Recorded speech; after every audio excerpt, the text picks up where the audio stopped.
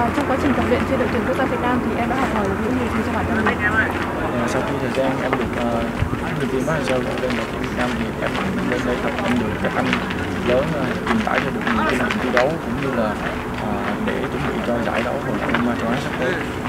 Quá trình tập huấn tại UAE đã mang đến cho em cũng như các đồng đội có những cái kinh nghiệm cũng như là những cái uh, trải nghiệm như thế nào? À, sau một thời gian tập huấn ở UAE thì em em và các đồng đội đã thi, thi đấu hai trận ở bên UAE thì uh, bọn em được uh, làm quen với những đối thủ ở nước khác thì em nghĩ là sẽ cho tụi em thêm nhiều trải nghiệm và kinh nghiệm hơn để để tụi em chuẩn bị bước vào giải đấu. Những bài tập gần đây thì như mình thấy thì huấn luyện so đã tỏ ra rất là kiểu sát sao và chỉnh sửa những động tác cho từng cầu thủ thì em em và các đồng đội có cảm thấy áp lực hay không? Dạ đối với em thì tất cả huấn luyện viên nào thì cũng muốn cầu thủ mình uh, phát triển và đối với coach Bắc thì coach Bắc uh, luôn muốn học trò của mình uh, tiến bộ từng ngày và em cũng không cảm thấy áp lực vì đó là giúp bọn em để tốt hơn. À, em nghĩ như nào về cơ hội cạnh tranh là suất đá chính của mình?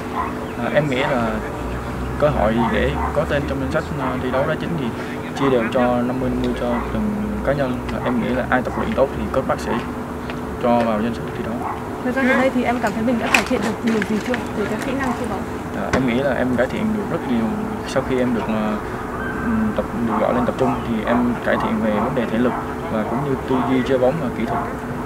Còn điểm yếu của em thì sao? Trang lui tí. À, điểm yếu của em thì uh, em nghĩ uh, đó là vấn đề uh, về uh,